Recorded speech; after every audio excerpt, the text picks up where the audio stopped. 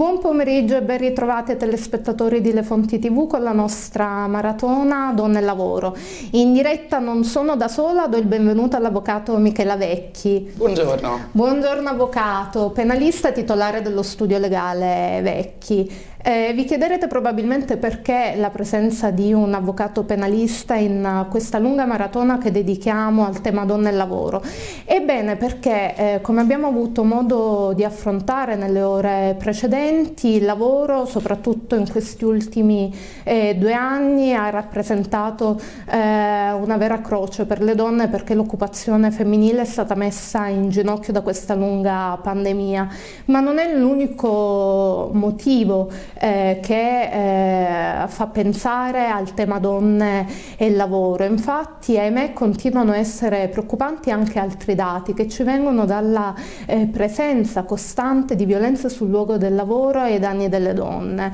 Eh, leggerei con voi, prima di entrare nel merito di questa tavola, alcuni dati che provengono da fonte Istat. Eh, secondo l'Istat i luoghi di lavoro sono al quarto posto per fattore di rischio, dopo i mezzi pubblici, la strada e i pub, i ristoranti, tutti i luoghi di ritrovo. Eh, bene, nel 2021 lo Stato italiano ha ratificato la Convenzione dell'Organizzazione Internazionale del Lavoro numero 190, avvocato, che in effetti rappresenta veramente una svolta in questo senso. Infatti per la prima volta quelli che sono i crimini e la violenza commessa sul luogo del lavoro viene riconosciuto dallo Stato italiano come un delitto contro l'umanità, un attentato alle pari opportunità delle donne. Da un punto di vista penale, cosa cambia soprattutto se qualcosa cambierà rispetto a quello che è l'ordinamento vigente? Beh, io mi auguro che la ratifica da parte dell'Italia di questa convenzione internazionale costituisca l'occasione definitiva per introdurre nell'ordinamento giuridico italiano delle norme ad hoc che disciplinino e reprimano la violenza e la molestia sui luoghi di lavoro. Eh, ci sono state negli anni molte spinte europee del Parlamento europeo che ha adottato diverse risoluzioni e che ha tentato di indurre gli Stati membri a rivedere la loro legislazione in tema di violenza e di molestia sulle donne che hanno costituito più o meno lettera morta, così come diversi progetti legislativi che hanno cominciato ad affiorare dal lontano 2009 con la famosa proposta Turco e a seguire nel 2014, nel 2015, che però poi non hanno mai avuto una concreta attuazione, per diverse ragioni, a mio modo di vedere, che dopo vedremo. Io penso che la ratifica di questa convenzione debba costituire l'occasione per il nostro legislatore di introdurre una norma specifica ad hoc, penale ovviamente perché io sono una penalista, che reprima la violenza e le molestie sui luoghi di lavoro e che per un verso dia dignità definitiva a un bene giuridico già protetto dalla nostra Costituzione che è l'integrità psicofisica dei lavoratori e delle lavoratrici e che per l'altro verso introduca una definizione giuridica di violenze e molestie sessuali che a tutt'oggi nel nostro ordinamento non c'è. Eh, se perdiamo questa occasione penso eh, che eh, perderemo una grande occasione perché ad oggi mh, io ritengo che il quadro normativo sia del tutto inadeguato a proteggere e a tutelare le lavoratrici rispetto a questo tipo di problema. Eh, abbiamo un quadro normativo anzitutto che non prevede delle norme ad hoc che disciplinino questo fenomeno e quindi i giudici, la giurisprudenza è stata costretta alla bisogna a recuperare norme già esistenti nell'ordinamento giuridico per cercare di eh, dire, dare adeguata tutela alle vittime, ma queste norme sono talmente inadeguate che non sempre consentono l'adeguata tutela. Ora io ci terrei eh, a sottolineare due cose. Il bene, ogni norma penale tutela un bene giuridico e quindi così come il furto tutela il bene giuridico patrimonio o le lesioni tutelano il bene giuridico integrità fisica, ci vorrebbe una norma ad hoc che tutelasse espressamente il bene giuridico integrità psicofisica dei lavoratori che è già protetto dalla nostra Costituzione e dalle fonti sovraordinate si dice di matrice euro-unitaria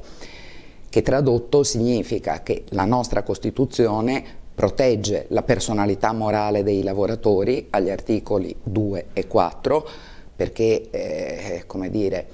la Repubblica garantisce i diritti inviolabili dell'uomo sia come singolo sia nelle formazioni sociali dove espleta la sua personalità e all'articolo 4 la Costituzione prevede che ciascuno debba porre in essere un'attività o una funzione che aiuti a promuovere il progresso spirituale e materiale della comunità. E per l'altro verso l'integrità psicofisica dei lavoratori trova espresso riconoscimento costituzionale negli articoli 32 e 41 della Costituzione ove per un lato si dice il diritto alla salute è un diritto inviolabile dell'individuo, del lavoratore e un interesse della collettività e per l'altro verso si pone un limite all'iniziativa economica privata che non può essere posta in essere o promossa laddove crea un danno alla dignità dei lavoratori e alle libertà umane. Tutto questo è sancito da molto tempo anche a livello europeo nella famosa Carta di Nizza, che è la Carta dei diritti fondamentali dell'Unione Europea, che è stata adottata sin dal 2000, e anche nella Convenzione del Consiglio d'Europa per la prevenzione e protezione della violenza contro le donne.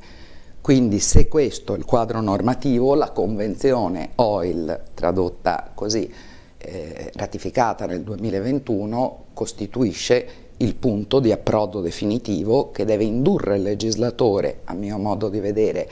ad uscire eh, da quello stato di torpore che lo ha caratterizzato negli ultimi anni e ad introdurre una norma specifica.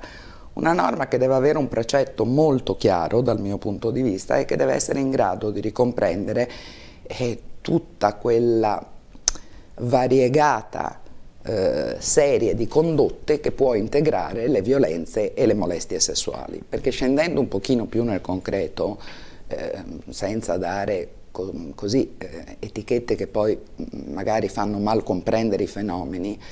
eh, ci sono mille condotte che possono integrare questo tipo di reati. Si va da condotte di carattere tipicamente materiale, anche a sfondo sessuale, perché ci possono essere condotte che eh, sfociano in un'aggressione diretta nei confronti della vittima eh, e quindi in un contatto fisico, condotte materiali non di tipo sessuale, ma comunque eh, parimenti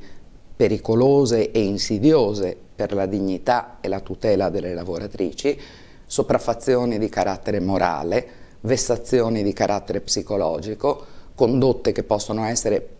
plurime, cioè tante condotte poste in essere ai danni di un solo lavoratore, piuttosto che un'unica condotta, che però la Convenzione apre il varco a dire anche un'unica condotta valuti lo Stato se può costituire reato, mi vengono in mente eh, quelli che vengono considerati eh, fenomeni di demansionamento piuttosto che di trasferimento improvviso che si concretano in un'unica condotta ma che pure eh, come dire, sono in grado di compromettere l'equilibrio, la serenità e la stabilità psicologica del lavoratore e inoltre queste condotte non solo possono essere poste in essere dal datore di lavoro nei confronti dei lavoratori ma anche dagli stessi colleghi. Quindi tutta questa categoria così eterogenea di condotte empiriche, a mio modo di vedere, deve essere ricondotta in un'unica norma incriminatrice chiara e precisa che sia in grado di abbracciare l'eterogeneità di queste condotte e che finalmente riconosca che la molestia e la violenza nei luoghi di lavoro lede il bene giuridico, integrità psicofisica dei lavoratori. Eh, prima le ho detto mh, mm, perché eh, ad oggi non è stata introdotta una norma di questo tipo e, e, cerco di essere il meno tecnica possibile, però su questo dobbiamo confrontarci. Probabilmente sotto un profilo squisitamente tecnico, perché eh, a me non interessano in questo momento le valutazioni politiche, si è avuto timore di una sorta di panpenalizzazione, cioè i penalisti eh, sono sempre molto restii all'introduzione di nuove ed ulteriori fattispecie di reato quando quelle già esistenti sarebbero di per sé stesse idonee a reprimere certi fenomeni. Eh, una frase bellissima di un antico maestro diceva che il diritto penale è un arcipelago di divieti in un mare di libertà e per questa ragione si dice esistono già norme che in un qualche modo possono tutelare il lavoratore rispetto alle violenze e alle molestie sessuali. La mia risposta dopo una lunga riflessione è che io condivido il timore per la panpenalizzazione, ma non nel caso specifico, perché io trovo che nel 2022 sia eh, inaccettabile che eh, nelle aule di giustizia si sia costretti a ricorrere a norme che proteggono beni giuridici del tutto diversi per tutelare questi fenomeni. Ad oggi, per tutelare le violenze e le molestie sui luoghi di lavoro, quelli non di carattere, cioè che non sfociano in un'aggressione fisica perché quelle trovano già tutela nella violenza sessuale, ma in tutte quelle condotte che non comportano un'aggressione diretta, si vanno a tirare fuori reati più svariati, dal maltrattamento in famiglia all'abuso dei mezzi di correzione, che tuttavia sono norme ideate eh, e che sono state come dire, varate per proteggere un bene giuridico tutt'affatto diverso. Rientrano nei delitti contro l'assistenza familiare. Il bene giuridico da proteggere era la famiglia. Lei capirà con quante difficoltà applicative norme di questo tipo possono essere poi asservite alla tutela di un lavoratore o di una lavoratrice che subisce e patisce delle violenze e delle molestie oppure si va eh, diciamo, a reati diversi come lo stalking, gli atti persecutori, che è un delitto contro la libertà morale, che pure viene utilizzato ad oggi per reprimere questi fenomeni. Però anche questo reato ha delle difficoltà applicative per poter disciplinare la violenza e la molestia sui luoghi di lavoro perché ha dei requisiti di tipicità molto stretti, per esempio si dice tu devi avere il pericolo, la paura per l'incolumità tua e dei tuoi cari. Ora, questo è più facilmente realizzabile in un contesto che non sia quello lavorativo, Oppure ci sono altre norme ancora che vengono utilizzate, la violenza privata, che è un delitto contro la libertà morale, oppure ancora l'estorsione, che è addirittura un delitto contro il patrimonio. Eh, ad esempio, l'esempio tipico dell'estorsione è quando il datore di lavoro velatamente minaccia il licenziamento nei confronti del lavoratore se costui non si adegua alla retribuzione proposta dal datore di lavoro che spesso è di molto inferiore a quella prevista dai contratti collettivi nazionali. Però, come dire, tutto l'armamentario giuridico di cui ad oggi possiamo usufruire per reprimere questi fenomeni è inadeguato, sia perché protegge beni giuridici diversi dall'integrità psicofisica del lavoratore, che invece deve assumere una dignità autonoma, sia perché questi reati sono formulati con una tecnica di formulazione della fattispecie che mh, è inadeguata rispetto alla tutela di questi fenomeni, il che peraltro ha comportato eh, una sorta di giurisprudenza gius creativa, cioè Poiché la norma non esiste, la giurisprudenza ha tentato di asservire le norme già esistenti per reprimere questo genere di fenomeni, con due esiti infausti dal mio punto di vista. Il primo è che la giurisprudenza ha tentato di sostituirsi al legislatore, il che in uno Stato di diritto non può essere, perché non esiste, non può esistere la giurisprudenza gius creativa. Il secondo è che questo tipo di atteggiamenti crea pregiudizi, di atteggiamenti, mi perdoni, di interpretazione, crea pregiudizio anzitutto alla parte offesa. Cioè non può essere il giudice ad accogliere o negare la tutela penale a un lavoratore a seconda della sua personale interpretazione della norma. Ecco perché dal mio punto di vista è fondamentale introdurre una norma e mi permetto di dare qualche indicazione pratica su questa norma, perché ci ho riflettuto a lungo. Io eh, anzitutto ritengo che debba essere tipizzata in modo molto precisa la condotta di molestia o di violenza, perché ad oggi non c'è una definizione giuridica, il legislatore deve dirci quando ci sono molestie e violenze sul luogo di lavoro in un modo preciso e in grado di comprendere tutte quelle mille condotte che da un punto di vista empirico possono integrare il reato. E la Convenzione OIL a cui lei si è riferita eh, definisce le violenze, le molestie sul luogo di lavoro come tutte quelle pratiche o quei comportamenti inaccettabili, questo dice, o la minaccia che quei comportamenti vengano posti in essere in via abituale o anche solo singola, che possano causare o abbiano lo scopo di causare un danno fisico, psicologico, eh, sessuale, economico al lavoratore. Ora, io penso che eh, da un punto di vista di legislazione interna si possa andare oltre e si possa mettere una sorta di benchmark nella formulazione della norma dicendo ma in fondo questi comportamenti devono essere unificati da un criterio e cioè, a mio modo di vedere, quello che le condotte siano poste in essere contro la volontà della vittima. Questo già costituirebbe dal mio punto di vista un criterio oggettivo per tipizzare le condotte. Dopodiché però il legislatore dovrebbe andare molto oltre perché con una norma specifica che reprima questo genere di fenomeni potrebbe introdurre per esempio delle pene pecuniarie molto pesanti che sono profondamente dissuasive nei confronti del datore di lavoro, spesso più che eh, una sanzione non pecuniaria che magari non viene neanche scontata. Si potrebbero introdurre degli ulteriori paletti tipo l'obbligatorio risarcimento della vittima eh, per concedere all'imputato di accedere a riti alternativi, patteggiamenti, giudizi abbreviati, cioè a dire se l'imputato vuole accedere ad un giudizio che gli dà dei benefici in termini di pena, ha da pagare obbligatoriamente la parte offesa prima di accedere a quei riti piuttosto ancora che introdurre delle pene accessorie importanti e che hanno dal mio punto di vista una grande efficacia dissuasiva.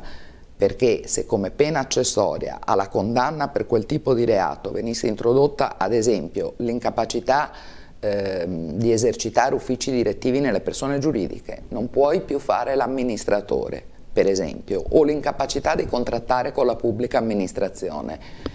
ad esempio non puoi partecipare alle gare d'appalto. Io penso che pene accessorie di questo tipo avrebbero un'efficacia largamente dissuasiva e quindi inevitabilmente andrebbero a fortificare la tutela delle lavoratrici che ne hanno bisogno.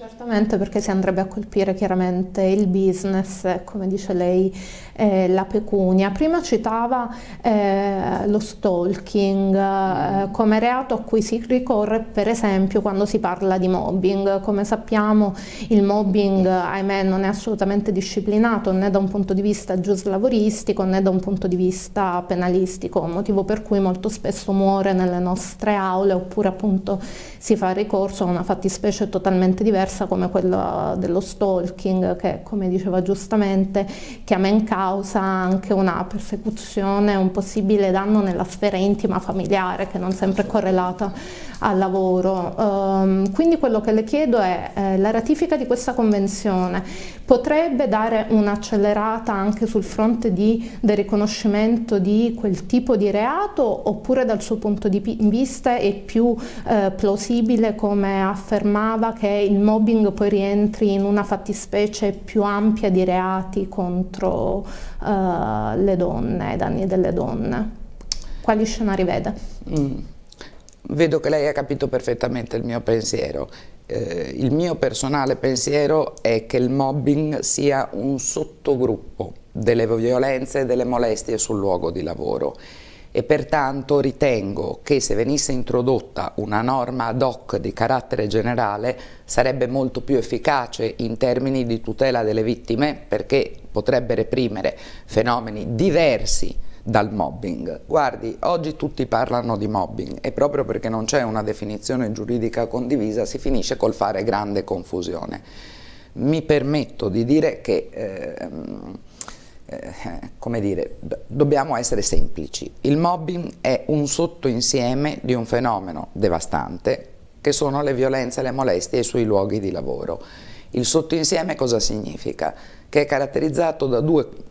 Diciamo, caratteristiche, e cioè comportamenti reiterati volti a indurre il lavoratore a dare le dimissioni. Questo è il mobbing. Dopodiché, come sempre, da un punto di vista empirico, mille sono le condotte che possono integrare il mobbing. Però siccome si tende a identificare il mobbing con le violenze e le molestie sui luoghi di lavoro, io mm, mi dissocio rispetto a questo. Il mobbing è un fenomeno gravissimo, però è un sottinsieme. Quindi nel momento in cui questa convenzione desse il destro al legislatore che purtroppo fino ad ora ha sonnecchiato nell'introdurre una norma speciale, inevitabilmente verrebbe represso e punito anche il mobbing. Eh, lei mh, mm, vede il disagio in cui gli operatori del diritto si trovano è abbastanza palpabile. Nel 2021 le sezioni unite, di fronte a un ricorrente che diceva ma il mobbing costituisce un illecito civile, giuslavoristico, nulla c'entra con i reati, sono intervenute dicendo no, il mobbing può essere anche represso con lo stalking, perché è l'unica figura di reato diciamo più attagliabile, gli atti persecutori, l'articolo 612 bis, alla condizione che però siano integrati gli elementi previsti da quella norma, ma tra gli elementi previsti da quella norma, per esempio, c'è l'essere costretti a cambiare le proprie abitudini di vita o la paura per l'incolumità proprio dei propri parenti che come lei ha già evidenziato sono difficilmente, come dire, realizzabili in un luogo di lavoro. Quindi eh, io eh, ritengo che una norma ad hoc tuteli tutti i fenomeni e aggiungo un'ultima cosa, da un punto di vista empirico-criminologico, spesso le molestie sessuali costituiscono l'anticamera del mobbing, perché cosa accade? Tu molesti una lavoratrice, la provochi, fai delle avance, dopodiché le tue avance sono respinte e a quel punto comincia il fenomeno vero del mobbing, e cioè il datore di lavoro o anche un collega tenta di fare di tutto con comportamenti vessatori e reiterati per indurre a far sì che tu ti allontani dall'ambiente di lavoro. Quindi un'unica norma in grado di abbracciare tutte queste fattispecie penso che sarebbe la soluzione migliore che il nostro legislatore potrebbe ideare.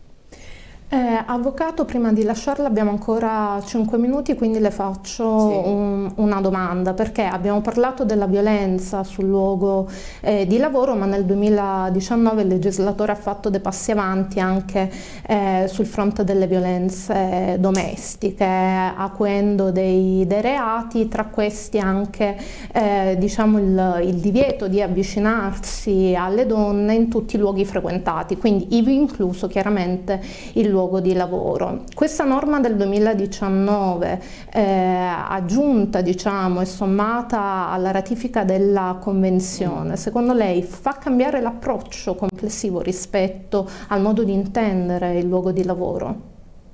Sì, mi permetto solo di fare una precisazione. I reati introdotti dalla legge del 2019, mh, nota come codice rosso,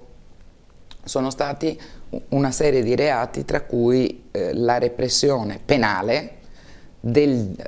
della violazione del divieto di avvicinamento ad una parte offesa nei luoghi da essa frequentati, quindi casa, quindi luogo di lavoro. Quindi già questo ha costituito, sotto questo punto di vista, eh, un rafforzamento della tutela eh, la Convenzione sotto questo specifico punto di vista non, non penso che possa aggiungere molto se non acuire sempre di più la sensibilità verso il fatto che il luogo di lavoro è un luogo dove si esplica e la personalità dei lavoratori e delle lavoratrici e che costoro hanno il diritto di vivere in modo sereno quel luogo di lavoro per la formazione e lo sviluppo della propria personalità e per lo sviluppo e per il progresso spirituale e materiale della società. Questo deve essere molto chiaro e io penso che la Convenzione su questo abbia segnato una svolta epocale che dobbiamo prendere in considerazione e che il legislatore non credo si possa permettere di ignorare. Un faro che non deve assolutamente essere spento no. su quello che è il progresso anche legislativo italiano. Io ringrazio l'avvocato Michela Vecchi per essere stata con noi in questa lunga maratona. Grazie avvocato. Grazie a lei. Una breve pausa pubblicitaria e torniamo a brevissimo in diretta con Donne e Lavoro.